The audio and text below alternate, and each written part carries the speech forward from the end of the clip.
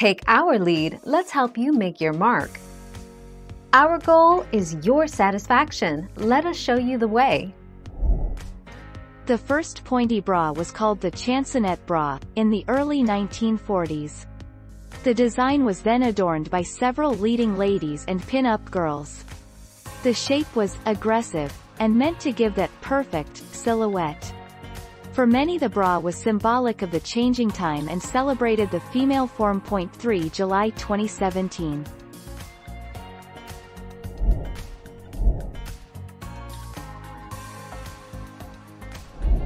Let's help you make your mark.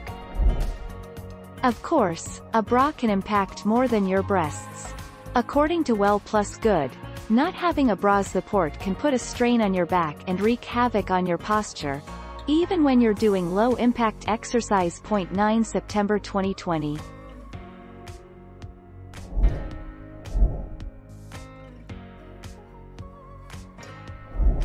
Make your mark, take our lead. Each bra comes with multiple hooks to extend the life of your bra. When a bra is brand new, it's fitted to the loosest hook. As time goes by, the elasticity in the band of the bra weakens.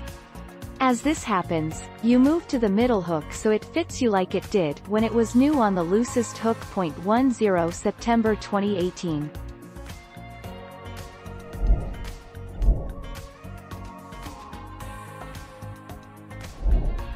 Take our lead.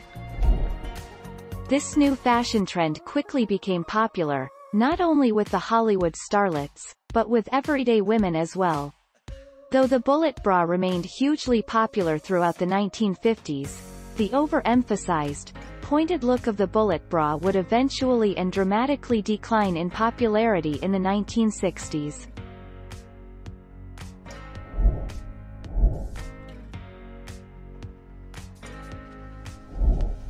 Take our lead. With a very round shape the amount of contact between the fabric of your shirt and the bra is larger, which visually makes your breasts look larger too.